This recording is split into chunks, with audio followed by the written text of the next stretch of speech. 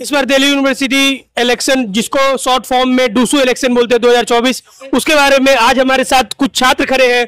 उमंग भवन के सामने वहाँ हम लोग आते हैं और लोगों से बात करते हैं। सबसे पहले हमारे साथ एक छात्र जो तृतीय वर्ष के लॉ सेंटर टू के अक्षित ओझा, इनसे पूछना चाहेंगे। तो इस बार क्या लग रहा है कि चुनाव किस मुद्दे पर हो रहा है और चुनाव में आप किसको सपोर्ट कर रहे हैं? चुनाव इस बार जो दो का चुनाव है पूरा का पूरा इस बार संविधान के मुद्दे पे हो रहा है। और हम लोग संविधान के साथ हैं और संविधान का मतलब है लोकेश चौधरी जो कि ज्वाइंट सेक्रेटरी के पोस्ट पे लड़ रहा है। हम सब उसके साथ इसलिए हैं क्योंकि वो आज से नहीं सात सालों से इस विधि के लिए विधि संकाय के लिए और पूरे लॉ फैकल्टी के लिए साथ ही साथ पूरे बावन कॉलेजों के लिए दिल्ली यूनिवर्सिटी के लड़ रहा है संघर्ष कर रहा है इसलिए हम उसके साथ हैं। इसके साथ साथ जितनी भी इस बार की मुद्दे ये हैं इस बार चाहे वुमेन सेफ्टी हो चाहे लाइटिंग का हो एसी की सुविधाएँ हो, हर जगह आपको एक नाम दिखेगा, वो है लोकेश चौधरी। वो हमको संघर्ष करते दिखा है, इसलिए हम उसके साथ हैं। इसके लिए कोई बायस होने की ज़रूरत नहीं है और किसी भी रियलिटी चेक की ज़रूरत नहीं है। आप यहाँ पे किसी से भी पूछोगे, अगर ज्वाइंट सेक्रेटरी की पोस्ट पे लोकेश चौधरी है तो उसका जीत लगभग लगभग तय है। तो लोकेश चौधरी जो इस बार कॉन्टेस्ट कर रहे हैं, वो एनएसयूआई से कर रहे हैं। तो एनएसयूआई ने इस बार कुछ मैनिफेस्टो रिलीज़ किया है, उस मैनिफेस्टो के बारे में अगर आप कुछ बताना चाहें लोगों को तो। एनएसवाई ने मैनिफेस्टो रिलीज़ किया है, लेकिन उसके पहले मैं बताना चाहता हूँ कि लोकेश चौधरी पर्सनली भी अपने तरफ़ से आज से नहीं चार पाँच सालों से ये जो संघर्ष है, उसको आगे बढ़ाने का काम किया है। उसमें से सबसे पहला यह है कि लाइटें नहीं होती है। लॉ सेंटर वन सात बजे तक चलता है। लॉ सेंटर वन और सात बजे क्या पाँच छह बजे के बाद शाम होने लगती है। तो उस जगह पे लाइटों की सुविधा बंद करने की क्या ज़रूरत नहीं है। इसलिए इसके लिए आवाज़ उठाई है। उसके साथ साथ पार्किंग की सुविधाएँ हो और एसी की सुविधाएँ हो, लाइब्रेरी में सुविधाएँ हो, पानी की सुविधाएँ हो, ये सारी सुविधाएँ मुद्दा होती है। छात्र जीवन में सारी मुद्दा है। इसके साथ साथ मैं मैं पर्सनली बता रहा हूँ, मेरे जानने में कितने लोग डिटेन हो गए थे। उनके लिए कोई खड़े वाला, होने वाला बच्चा नहीं। Sixty nine point nine nine percent लाके सत्तर परसेंट नहीं रिटेन हो गया। तो ऐसे में कोई खड़ा होने वाला या कोई ऐसा लीडर होना चाहिए जो सामने आप, आपको सपोर्ट करे, आपके साथ खड़ा हो और आपके मुद्दे को जो प्रशासन है वहाँ तक पहुँचाए। तो ऐसे इसलिए हम लोग लोकेश चौधरी के साथ है। आइए और किसी और लोगों से मिलते हैं और जानते हैं।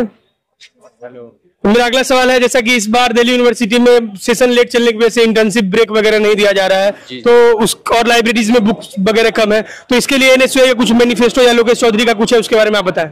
ये लोकेश चौधरी जी इस बारे में आप जैसे आपने ये मुद्दा बताया ये लॉ फैकल्टी का मुद्दा है। हाँ। ये लॉ फैकल्टी का मुद्दा है ये लॉ फैकल्टी के ही छात्र है तो इसको ज़रूर ज़रूर से कर करेंगे।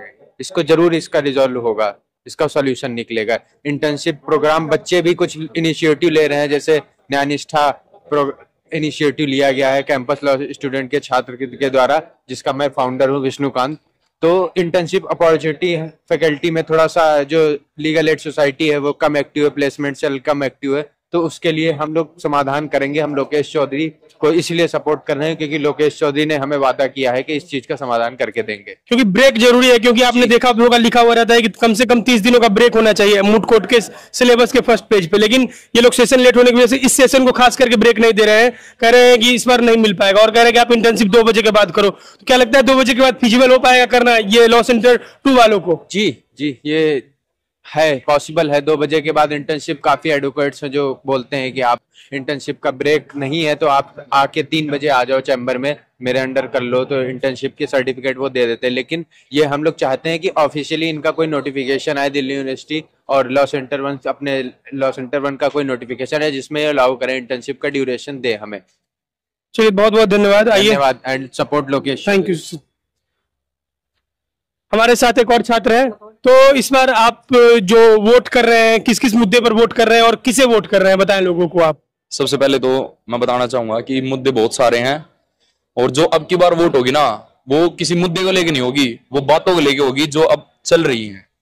जैसे एबीवीपी के हम मतलब पिछले कई साल से देखा, सेम मैनिफेस्टो, हर बार सेम मैनिफेस्टो, और आप इतने साल से सत्ता में भी आ रहे हैं, आपका प्रेसिडेंट भी बन रहा है, आपका पैनल भी बन रहा है, फिर भी आपसे मतलब मुद्दे कवर नहीं हो पा रहे तो आप कर क्या रहे हैं पैनल में? तो उन्होंने तो लाइक वोट मांगनी ही नहीं चाहिए। तो अब की बार देखते हैं हम एनएसए को ट्राई देंगे। मेरा अगला सवाल आपसे ये है कि लोकेश चौधरी जो सबसे उभरते चेहरे हैं अभी एनएसयूआई से काफ़ी काम किया है उन्होंने पहले भी और आगे भी काम करेंगे। तो उनके कुछ गिने चुने काम अगर आप बताना चाहें लोगों को तो बता सकते हैं ताकि लोग अवेयर हो सके। जैसे लोकेश चौधरी हर चीज़ में मैं आपको ये बताता हूँ कि लोकेश चौधरी मेरे क्लासमेट भी रहे हैं। तो लोकेश चौधरी के मेरे को बहुत सारी बातें जो पता लगी थी जैसे मैंने उनके इंस्टा हैंडल पे देखा है। लोकेश चौधरी जब कॉन्स्टिट्यूशन की जब हत्या बोलते हैं, वो की गई थी, वहाँ पे भी प्रोटेस्ट में आगे थे। जब बच्चों की आवाज़ की बात थी तो वो वहाँ पे भी आगे थे। वो डीन ऑफ़िस के सामने भी गए हैं, बच्चों की प्रॉब्लम को लेके।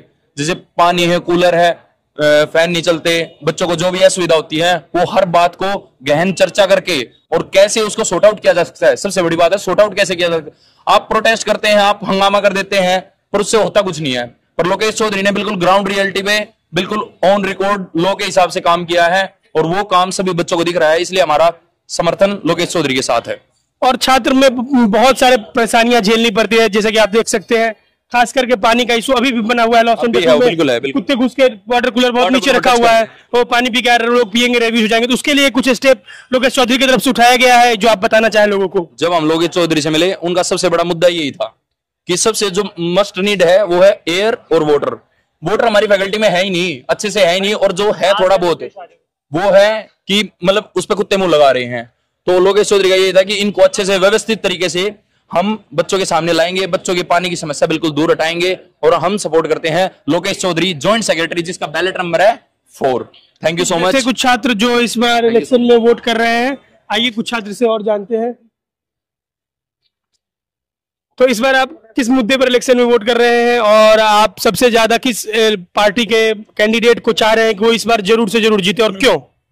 भाई हम एनएसयूआई से हैं और एनएसयूआई को वोट करेंगे। क्योंकि एनएसयूआई ने बहुत ज़्यादा काम किया है बाकी भाईचारे में लोकेश चौधरी और यश नंदल को वोट की जाएगी। फिर मेरा अगला सवाल लास्ट सवाल आपसे है। कि इस बार बहुत सारे मुद्दे हैं। तो प्रमुख मुद्दा कौन है जो आप चाहेंगे कि लोकेश चौधरी अगर आए या यश नंदल आए तो ये काम सबसे पहले करें लॉ फैकल्टी के लिए। आ, सबसे ज़्यादा अभी कैंपस सेफ़ नहीं है हो, होता इलेक्शनों में। काफ़ी ज़्यादा लड़ाई भिड़ाई होती रहती है। तो हम ये चाहेंगे कि पुलिस की सेफ्टी रहे वुमेन की सेफ्टी रहे और जो पानी और एसी का तो अपना सॉल्व हो ही हो ही गया है।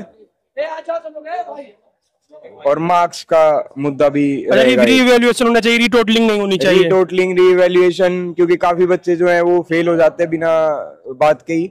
अच्छा पेपर करने के बाद भी तो हम चाहेंगे कि वो वाला मुद्दा प्राइम रहे लॉ फैकल्टी के स्टूडेंट्स के लिए। तो चाहेंगे कि अगर लोकेश चौधरी इस वीडियो को देख रहे हैं तो ये सारे मुद्दे पूरे करें। बहुत बहुत धन्यवाद। यहाँ पर कुछ छात्र हैं जो आए हुए हैं चलिए उनसे जानते हैं इलेक्शन के बारे में। तो सबसे पहला मेरा सवाल आपसे ये रहेगा कि आप इस बार किस मुद्दे पर वोट कर रहे हैं और आपका इस बार फेवरेट कंटेस्टेंट जो इस बार कैंडिडेट है वो कौन है और क्यों है?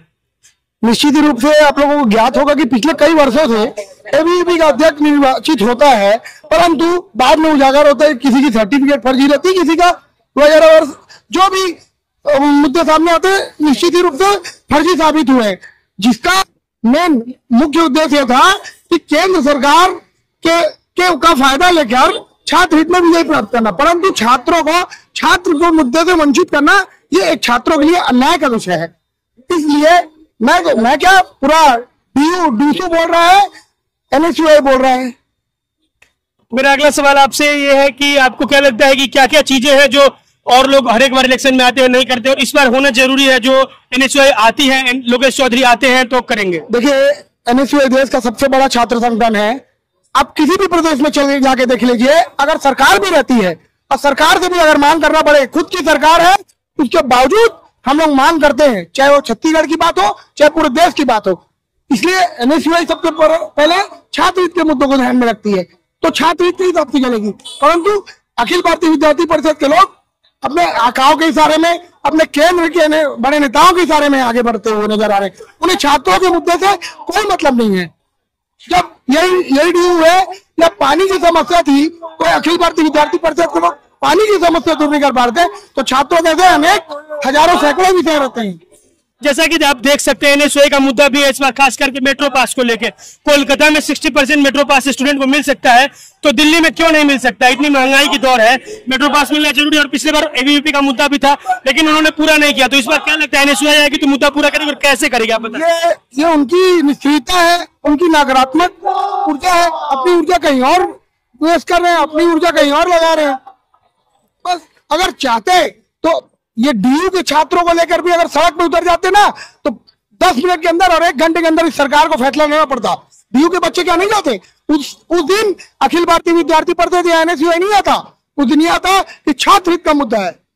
ये थे छात्र जो इस बार इलेक्शन में वोट कर रहे हैं और वोटिंग सबसे बड़ा राइट है। 27 सितंबर के दिन आके आप अपने राइट का इस्तेमाल ज़रूर करें और आपको जो भी कैंडिडेट उचित लगे, जिसके बारे में आपको लगता है कि वोट करना चाहिए तो करें। लोकेश चौधरी भी इस बार वोट में कॉन्टेस्ट कर रहे हैं और आपको उनके वादे, उनके मुद्दे अच्छे लगते हैं तो इस बार आप ज़रूर ज्वाइंट सेक्रेटरी पोस्ट पर उनको वोट करें सपोर्ट करें और उनको विजयी बनाए। बहुत बहुत धन्यवाद।